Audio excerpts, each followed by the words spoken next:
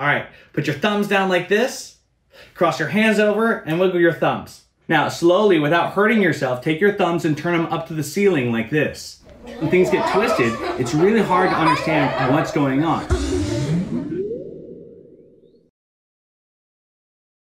This week, our friends at the Academy of the Holy Names in Tampa, Florida invited Impossible Science to come into their classroom to share a little bit of magic to end out a challenging year. Let's check it out.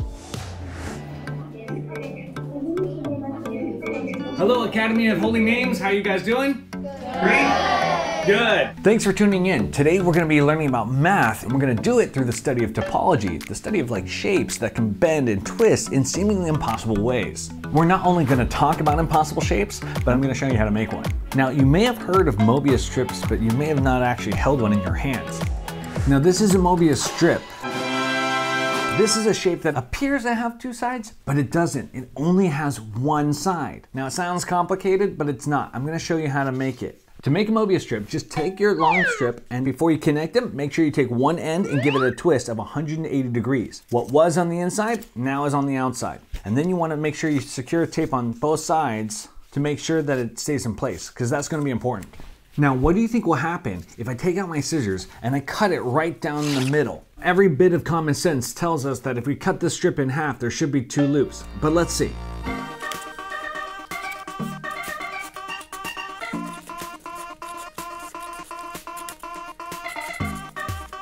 Because you made a shape that only had one side, the result of cutting them in half are anything but what you would normally expect.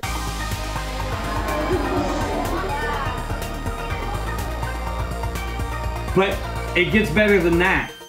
See, if you take two Mobius strips together and connect them, you end up with a shape that you would never expect to happen. And I need your help with this. So, grab a strip, okay?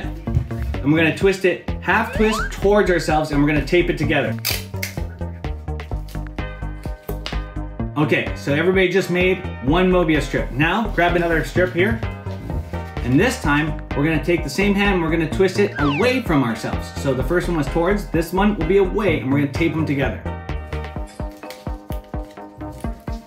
Now you have two Mobius strips. Now what we need to do is we're gonna tape these two loops together on the outside by just taping them perpendicular. So we make a plus sign. Now, the better you tape these down, the better they'll be. And when you're done, it's gonna look like this. It's gonna be a Mobius strip taped to another Mobius strip, perpendicular to each other. This next part is pretty cool. We've seen that if you cut a Mobius strip in half, it actually ends up being twice as big. So, what do you think this shape would be if we cut it down the center of this Mobius strip and, and the center of this Mobius strip? And I think it might be like a multicolored big loop. a multicolored big loop because some of you guys actually have two different colors. That's a great observation. How about one more guess? Because this one will surprise you. Isabel. I think that it could maybe turn into a plus sign or a star. All right. Well, I have something really cool to reveal to you. Let me get it started. Cut it by folding in half here, and then we want to cut just the loop. If we cut it down the center, all the way across one loop, and then cut the other one, go ahead.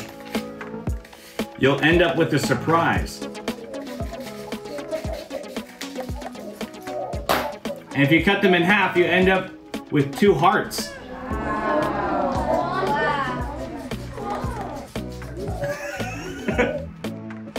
See, magic is everything we don't understand. And I'm gonna show you some principles of mathematics that will look like magic. Like inside this box is another box. No. By pulling the green box out of the black box, we can assume we know one thing about the size of this box, the interior of this box, versus the size of this box. People think it's smaller, which is why it looks so odd that the black box can fit inside the green box. What? What? what? this is not a magic trick. This is a mathematical principle. The boxes are the exact same size, they're just in different orientations. Since we haven't had a chance to work with students directly since we brought Impossible Science online, I thought it'd be a great opportunity to take questions from them to see what they're curious about in mathematics and magic. How did you get up to where you are today with all your magic tricks? I saw a magic show when I was nine years old, and when I fell in love with magic, I started reading every book I could possibly could on magic. Then I started meeting magicians and asking them questions about how they do what they did. And then I went to college to study different fields of science to see if I could be a better magician. Eventually, I started creating magic tricks that hadn't existed before because of my background in science. Can you learn magic in college? Ooh, I've actually heard there are universities that you could study magic. Is there science behind like all magic tricks? Can't speak for everybody, but I don't have any superpowers. Everything I've ever done comes down to me asking questions in a different field of science. All right, that's about all the time we have for today, but I just want to say thank you so much for welcoming me into your classroom. And I'll see you next time on Impossible Science.